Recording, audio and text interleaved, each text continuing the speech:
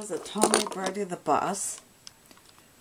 This one is motorized, but his battery is dead. So here he is. About Hot Wheels size. Sodor mail truck. So there he is.